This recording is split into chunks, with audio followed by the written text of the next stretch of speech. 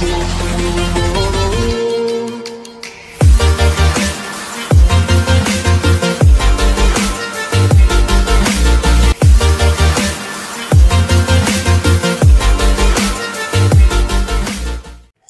traders, ni wakati tena mwingine ambao uh, tunakutana kwenye presentation na leo hii ni live presentation ambayo nafikiri wengi wenu mlikuwa mkitazama YouTube mkawa um, mnasikia kuna presentation ya awesome mnatazama, lakini leo mmeweza kuingia kwenye advanced course au advanced program, kwa tumeweza kukutana moja kwa moja uh, kwenye hii program ambapo tunajifunza um, advanced course kwenye forex ambapo wengi unakuta wanakuwa na ile basic basics za forex lakini wanakuwa hawajajifunza advanced course. Kwa leo tuko kwenye advanced course na na hii course nafikiri nitaiweka for free YouTube, angalau kila mmoja na, yani na mwingine ambaye hajaweza kuingia kwenye advanced course aweze kupata kitu kwamba ajue kwamba uh, kuna nini kinaendelea awesome uh, je mtu akijiunga kwenye advanced course anakuwa anapata kitu cha namna gani kwa hiyo leo nataka tujifunze kuhusiana na uh, moja kati ya trading strategy uh, au ni trading system ambayo ni official trading system ya Awesome. Kwa hiyo nataka tujue kwamba ni kwa namna gani tunaweza tukachukua idea ya Elliott wave, idea ya Fibonacci levels uh, katika kuweza kuingia kwenye soko na kuweza kutoka kwenye soko. Kwa hiyo tunataka tujifunze strategy mojawapo ambao ni mpya kabisa kwa wale ambao manake hawako kwenye uh, kwenye ASAM um, system, wanakuwa kwao ni mpya kabisa, lakini mnaweza mkapata kujifunza kwenye hiyo strategy. Kwa hiyo strategy inajulikana kama the arrow. Unaweza tukatazama arrow, the arrow au nasema the PSC hiyo ndo strategy yetu ambayo mara nyingi tunatumia uh, katika trading, katika kutafuta entry kwenye market uh, mara nyingi tunatumia the PSCC strategy, ambapo hii the arrow au the PSCC strategy ni strategy ambayo uh, unakuwa unaingia kwenye market kama ambavyo tunafanya idea ya kushoot an arrow, kwamba tunategemea unapokuwa na shoot an arrow huwezi ukashuti bila kuvuta nyuma. Kwa lazima utavuta nyuma kwanza ni aro alafu ukishavuta unapoachia aro ndio inaenda kushuti Kwa na hii strategy ndio imebezi kwenye idea hiyo. Kwa hiyo tukisema the PSC, P hii hapa ni pullback, S hii hapa ni setup, halafu C hii hapa ni comeback. Kwa maana yake principle yetu imebezi kwenye pullback, setup pamoja na comeback kwa tutakuja kuona kwenye principle halisi ya uh, ya the arrow kwamba huwa inakuwaje hiyo principle ya the arrow. Kwa now tuanze kuona idea ya the arrow inakuwaje, lakini msingi wake ni kwamba unapotaka kushoot lazima uvute, huwezi ukashoot bila kuvuta nyuma ni arrow. Now kwa hiyo now this is an arrow hapa tumeiona this is an arrow, lakini kinachotakiwa kinachofanyika kina hapa ni kwamba this arrow target yetu iko hapa, kwamba tunataka kushuti hili eneo hapa. Hii ndo target area yetu ambayo tunataka tushuti. Kwa sasa tutashuti vipi bila kupullback? Lazima tupullback. Kwa pullback lazima ianze, halafu baada ya kupullback kunakuwa kuna setup ndani yake. Setup um, tunapoongelea the setup hapa kwenye S manake tunaangalia ile kuna balance. Kama ni kwenye arrow manake mtu akipull back lazima a balance, yani a balance aangalie kwamba okay, nikishuti hapa nina possibility ya kuweza kupiga target yangu. Kwa pale anapokuwa na set kujua kwamba nikishuti kwa position hii nitaweza kupiga target yangu, pale ndio tunasema the setup. Lakini baada ya setup pale anapoachia arrow ikaanza kwenda that will be the comeback. Inakuwa ni comeback kwa nini? Kwa sababu kwanza arrow ilivutwa nyuma, ilikuwa ime, imekuwa pulled back, lakini kama ni pull back inapo inapoenda kule iliko kuwepo tunasema ni kama ina comeback. Kwa it is the pull back setup and the comeback. Kwa hiyo pia uh, inafanana inafanana na movement of the price in the market ambapo hiyo movement of the price in the market kwa idea ya pullback setup na comeback ina ina ina base kwenye Elliott wave movement, ina base kwenye Elliott wave movement. Kwa hiyo uh, katika idea hiyo tunaweza kusema kwamba kwa principle yenyewe ni kwamba the arrow strategy, the PSC. This is the trading strategy which is based on Elliott wave movement. Jinsi ambavyo zina move Elliott waves ndivyo ambavyo hii principle napo inakuwa imebase kwenye movement ya Elliott wave. Wave moja hadi wave nyingine. Lakini principle yenyewe ikoje? In any trending market, in any trending market, pullback is a setup for the comeback. Ndipo inapotokea the PSC. In any trending market, pullback is the setup for the comeback. Sasa tukisema a trending market, trending market inakuwa ni market ambayo ina move kwa kwenda juu au kwenda chini. Hiyo ni trend. Kama ina move sideways, hapo tunasema high trend. Hiyo itakuwa ina consolidate. Kwa sasa hii pullback strategy utaweza kutrade kwenye trending market, kwenye market ambayo ina ina move kwenda juu au inashuka. Condition za msingi ni kwamba pullback manake kwamba utakuwa na uwezo wa kutrade, manake katika kutumia this strategy kikubwa ni kwamba moja kwa moja utakuwa na uwezo wa kutrade kwenye waves kadhaa, kwamba tukibezi kwenye Elliott utakuwa na uwezo wa kutrade wave namba tatu, lakini pia utakuwa na uwezo wa kutrade wave namba C. Hizo ni wave ambazo utatrade kwa confidence kubwa kabisa, wave namba tatu pamoja na wave C, lakini kwa kulingana na wewe katika kumanage pesa yako na risk management zako unazokuwa nazo, una uwezo wa kutrade wave number 5. Wave number tano unaweza zikaingia, lakini ni kulingana na uelewa wako kuhusiana na waves, Elliott waves, unazijua kwa kiasi gani, kujua property zake, kwamba labda nyingine ikiwa overextended, labda namba 3 overextended, namba 5 inaweza kuwa truncated, kwa unaweza usiingie kwenye trade. Kama unajua sawa, lakini for your own risk trade wave namba tatu pamoja na wave C.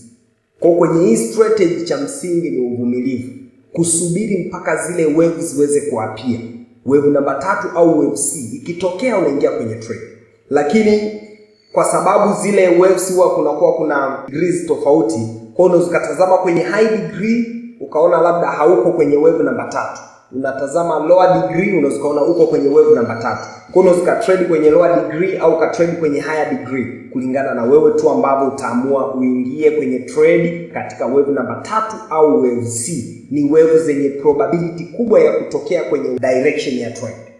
Now, hizo waves zinahusiana vipi kuhusiana na idea ya PSC? Tutaangalia the pullback kwenye wave namba mbili inakuwa ni setup ya wave namba tatu yaani price inaporudi kwenye web namba mbili kunakuwa inafanya setup, inatafuta nguvu ya kuja kujiachia kwenda kutengeneza wave namba tatu, na inapo kwenye wave namba nne inatafuta nguvu vile vile, au ni setup, inatafuta nguvu au setup ya kwenda kushoot kwenye wave namba tano, na inapokuwa ina pullback kwenye wave B, hii hapa ni corrective sasa. Inapo kwenye wave B inatafuta nguvu au setup ya kwenda kushuti kwenye wave C. Ndio maana tumesema uta trade wave number 3, number 5 na C kutokana na hizo hizo setup, kwa sababu hizi ni wave ambazo setup yake unaiona, kwa sababu namba moja, namba moja ni wave ambayo setup yake kuiona ni vigumu, kujua kwamba hapa namba moja ndio inajiandaa ijiachie ni vigumu. Kwa hiyo ndio maana hatujaweka namba moja kwamba uta trade namba moja, au wave A kwenye correction kujua kwamba correction hapa ndio inaenda kuanza, huwa inakuwa bado pia ni vigumu pia. Otherwise utumie the Andrews Pitchfork tool. Nafikiri kuna presentation ya Andrews Pitchfork tool kwa ajili ya kuweza kutrade correction waves, nilishafanya presentation yake hapo. Unaweza uka trade wave A, lakini for your own risk trade wave ambazo setup zake unaziona, setup zake unakuwa unazijua kabisa, hapa inajiandaa. Kwa now tunaweza tukajaribu kuangalia moja kwa moja kuhusiana na hizi hizi Elliott waves ambapo roughly tunaweza tukajaribu kuona roughly hizo Elliott waves huwa zinaenda zinaenda kwa movement gani, lakini nafikiri everyone anakuwa yuko aware na Elliott wave kwa sababu tayari tumeshaweza kukava idea ya ya Elliott waves.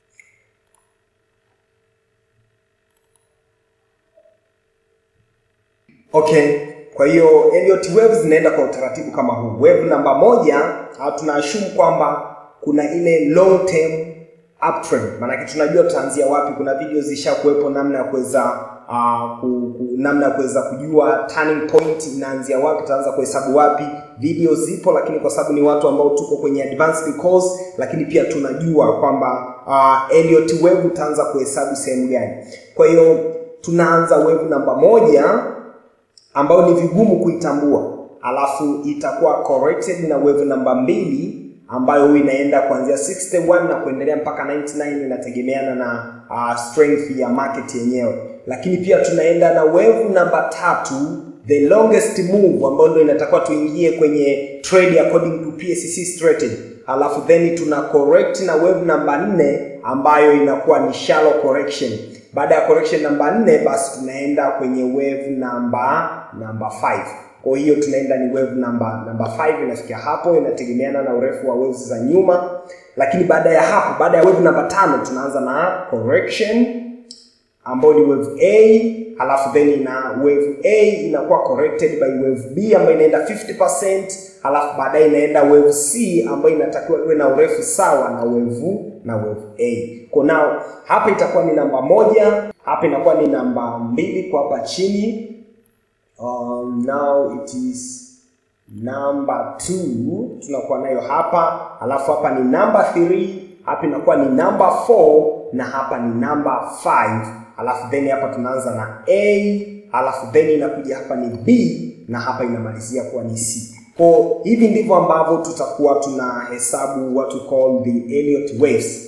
Ni kwamba mtu unapotumia PSC strategy lazima uwe tayari una uwezo wa kuhesabu Elliott wave. Lakini sasa strategy itatumikaje? The PSC, the issues of the pullback is the setup for the comeback. Pullback setup for the comeback.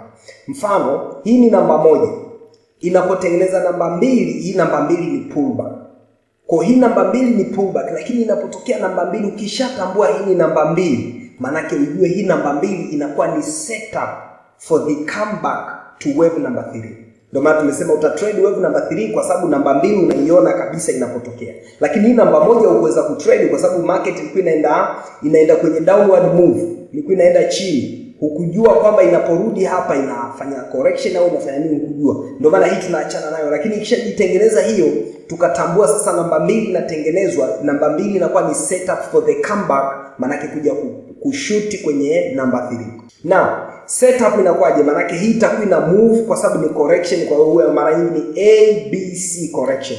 Huwa inakuwa ni abc correction. Kwa hiyo ni vitu ambavyo umeshasoma kwenye Elliott wave uh, wakati tunaanza hii advanced course tayari tulijifunza hivyo vitu kwenye uh, Elliott waves kwa sasa utakapokuwa unaangalia hii correction correction itafikia hapa kwenye hii level. Sasa ikishafikia kwenye hii level ndo tunaanza kudetermine zile important levels important levels tunakuwa nazo mbili. Katika katika katika hii movement tunakuwa na important levels za namna za namna mbili. Kwa hizo important levels ambazo ndio inatakiwa tuwe tunazifuatilia tuzitambue tuzijue ni level zipi. Kuna level ya kwanza kuna level ya kwanza ambayo tunaita kama invalidation. Tuna level ya kwanza hapa ambayo inaitwa kama invalidation zone hii hapa ni invalidation zone. Ni zoni ambayo tunategemea. Wakati namba mbili inatengenezwa mpaka hapa ilikuwa ni setup kwa ajili ya wave namba tatu kutengenezwa. Kwa maanake tukiwa na hii invalidation zone yetu hii ni zoni itakayotusaidia sisi katika kutambua kwamba price in endapo tumetambua kwamba hapa imeanza kuitengeneza wevu namba, namba tatu. Halafu baadaye ikarudi ikavuka kwenye hii zone ni zoni ambayo inatuonyesha kwamba ile upward move inakuwa haiko sahihi. Kwa hiyo zoni ya kwanza inaitwa invalidation zone. Lakini pia tunakuwa tuna zoni ya pili ni confirmation zone ambapo katika confirmation zone tunaongelea ile zone ambayo um, ile price ilikuwa ime pull back kwenye wevu namba mbili. Kwa inatengeneza wevu namba tatu pale ambapo wevu namba tatu inakuwa ime imeshaivunja hai ya wevu namba moja. Hapa tunasema hii inaitwa confirmation zone. The confirmation zone ni zone ambayo ina confirm kwamba movement ya wave namba 3 tayari ina uhakika mkubwa wa kutokea kukamilika manake sasa kwa sababu tayari imeshaanza kutokea kwa ina uhakika mkubwa uh, wa kuweza kukamilika. Maanake kama ni target maanake inakuwa tayari imeshakuonyesha uhakika mkubwa wa kuweza kufikia target yako. Lakini kitu cha msingi ni sasa tunataka tujue kuhusiana na entry. Kitu cha kwanza cha msingi tujue kuhusiana na entry kwenye psc au tunasema the arrow strategy entry utakuwa unaingia sehemu gani? Kwa kuna entry za namna mbili ambapo hizo entry inategemeana na money management ambayo wewe unakuwa nayo ambapo entry ya kwanza inakuwa ni ile mapema tu price imeshageuka imeanza kuitengeneza wevu namba tatu kwamba unaweza ukatafuta entry katika katika eneo la katikati ambapo hili eneo la katikati ambalo unaweza ukatafutia entry maanake ni katika hii tunaita uh, the validation zone. Hii ni zone ambayo price ikiwa inafanya movement ndani ya hii zone inakuwa ni valid. Kwa maana ya kwamba inaweza ikapandisha mpaka level fulani lakini bado ikarudi ikashuka chini mpaka level fulani bila kuvunja hapa kwenye uh, hii invalidation zone online basi hapa katikati panakuwa ni valid. Kwa mtu anaweza akaingilia kwenye valid zone hapa. Hiyo ni sehemu ya kwanza ya entry na sehemu ya pili ya entry mtu anaweza akaingia kwenye uh, confirmation zone. Manake anaweza katafuta entry baada ya price kuvuka uh, kwenye hii confirmation zone. Kwao tuone kwa yule atakayeingia kwenye invalidation zone. Unaingia popote kati ya hichi kipande ambacho kinaanzia hapa price ambapo imegeukia imeanza kutengeneza wave namba namba 3 na ina, unaingia manake kabla hata haijafika kwenye confirmation zone. Tuone mtu atakayeingia kwenye hii sehemu anatakiwa afanye vitu gani vya msingi.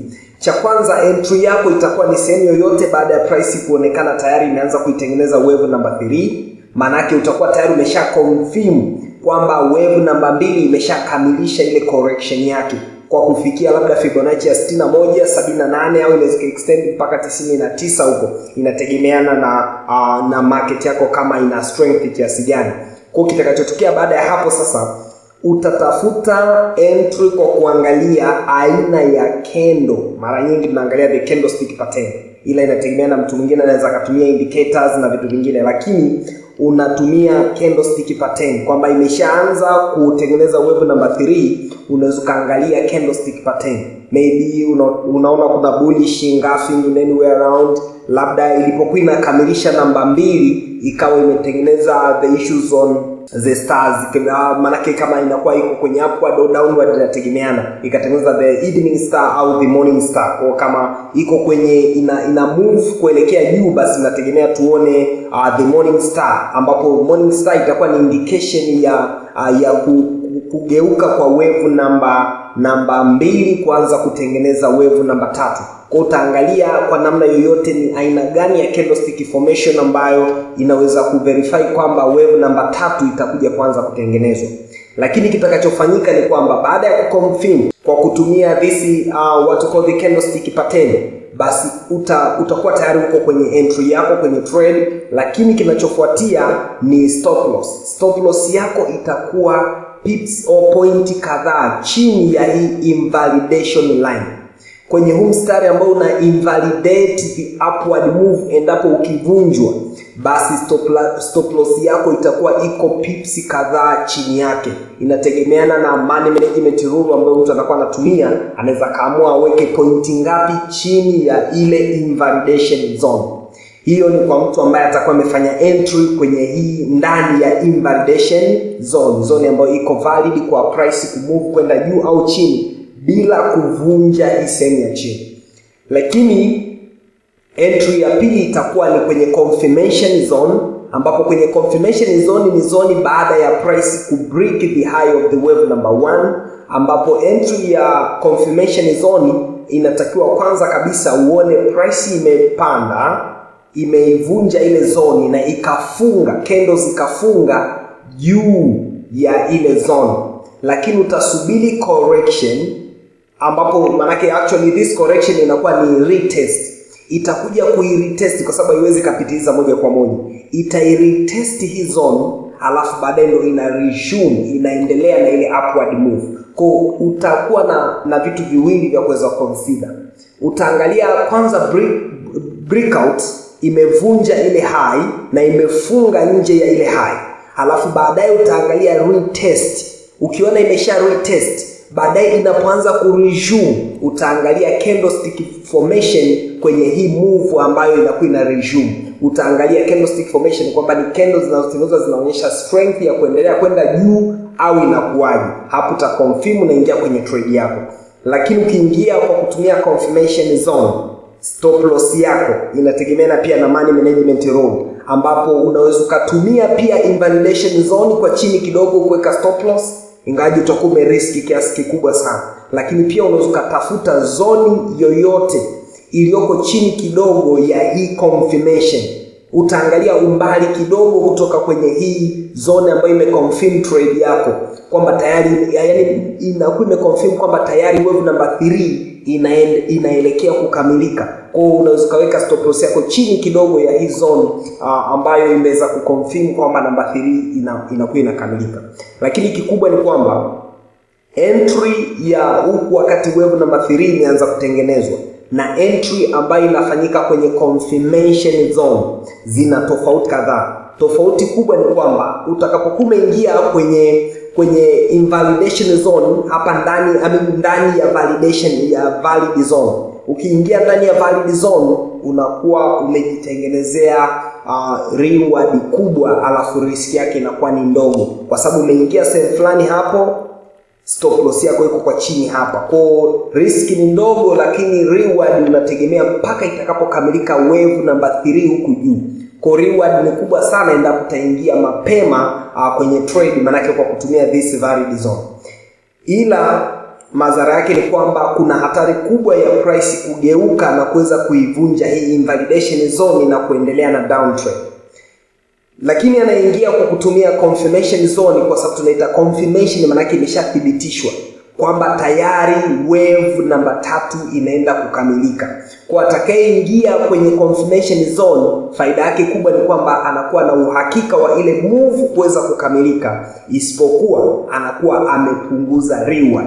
Reward yake inakuwa ni ndogo alafu risk inakuwa ni kubwa endapo utatumia stop loss kwa kutumia hii invalidation zone ukitumia stop loss kwenye invalidation zone basi risk yako inakuwa ni kubwa. Ndio maana tunasema uh, alternatively inatakiwa utafute zoni nyingine iliyoko katikati hapa. Uweze kuitumia kama zoni yako ya kuweka ya kuweka stop loss endapo umeingilia kwenye confirmation zone.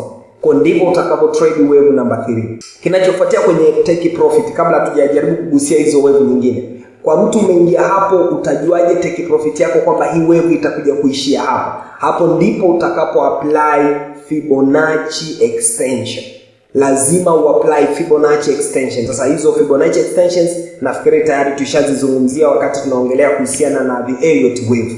Kwamba wevu namba tatu inategemewa kuextend urefu gani ni kitu ambacho tayari kinaeleweka kwenye uh, kwenye watu kwa the Elliott wave. Kwa ile ile extension ambayo inategemewa ya wevu namba tatu, hiyo ndio utakayoitumia kama take profit yako, kwamba unatarajia wevu namba tatu ifikie sehemu fulani, hapo ndio utaset take profit.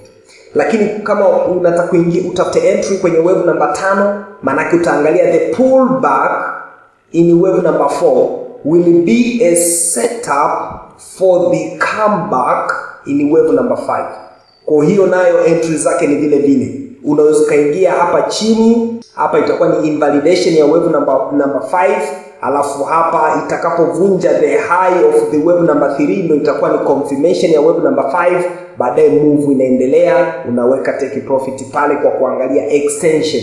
Fibonacci extension kwamba wave namba tano ina extend mpaka kwenye uh, Fibonacci level kiasi gani, isipokuwa wave namba tano probability yake ya kutokea kwa urefu huu inakuwa ni ndogo, endapo inategemeana na properties za wevu za nyuma zikoje. Lakini wevu ya mwisho ya msingi ambayo unaweza kutumia PSC strategy, the arrow strategy ni wevu C. Katika wevu C ni wevu ambayo itakuwa tayari imetokea wevu hii hapa, sasa ni correction manake hapa kulikuwa kuna long term upward move ambayo bado inaendelea lakini katika ile long term upward move kumetokea a short term downward move. Kwa hii ni upward move, kumetokea a short term downward move ambayo hii inakuwa ni correction, manake kwenye zile high degrees, manake hapa price inatafuta nguvu ya kushuti tena kwenye high degrees. Kwa pia na yenyewe unaweza trade, lakini unakuwa unaenda kinyume na ile major trend.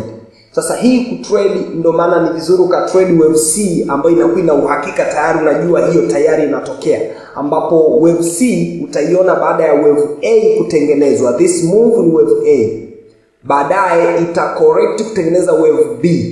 Sasa kutrade wave C inakuwa ni rahisi kwa sababu ukishajua the length of wave A basi length of the wave A huwa inakuwa inakadiriwa kuwa sawa na urefu wa wave C. Urefu wa A huwa unakadiriwa kuwa sawa na urefu wa C, ingaje C sometime inaweza extended ikazidi urefu wa A.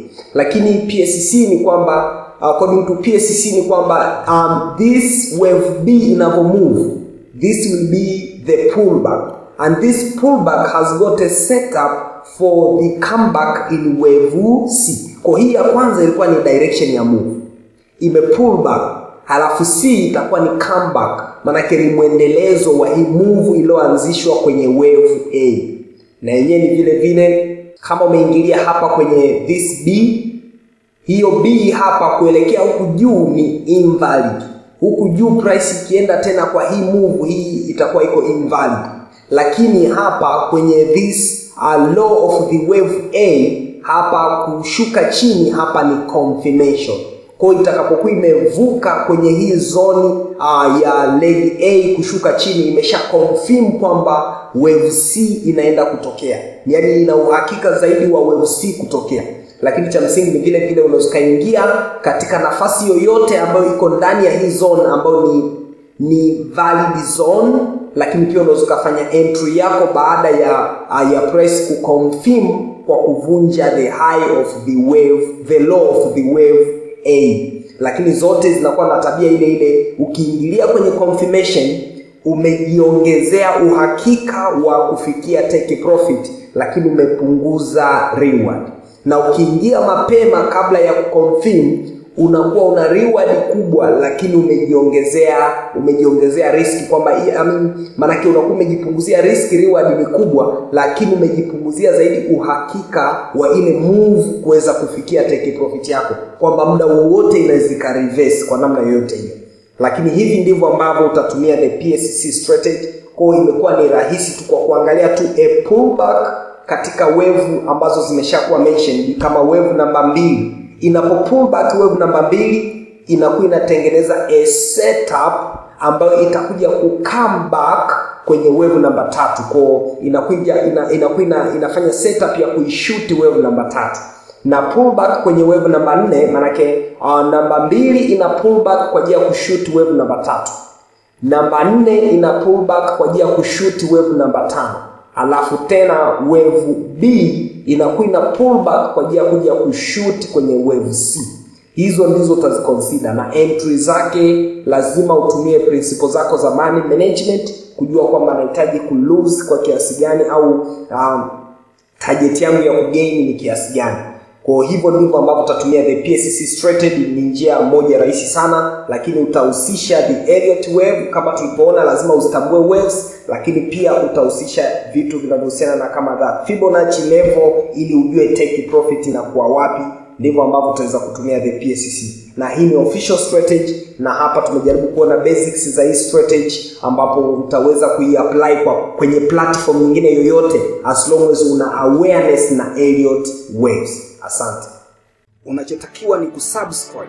Utasubscribe kwa kubonyeza alama ya subscribe, kisha alama ya kengele iliyoko pembeni. kibonyeza hiyo alama ya kengele, itakuwa inakusaidia wewe kupata taarifa pale ambapo tunakuwa tunaposti video nyingine kuhusiana na presentation zetu. Kwa hivyo, ili uwe wa kwanza, bonyeza hiyo alama ya kengele. Lakini pia ukisubscribe, unaweza ukalike hii video kama unakuwa umeipenda, alafu kaweka na comment yako kuhusiana na nini ambacho umekiona. Kama unakuwa na swali au una ushauri wowote, unaweza ukauweka hapo. Unaweza ukashare hii video ili iweze kumfikia na mwenzako ambaye bado hajaweza kuitazama, lakini unaamini kwamba itaweza kuja kumsaidia.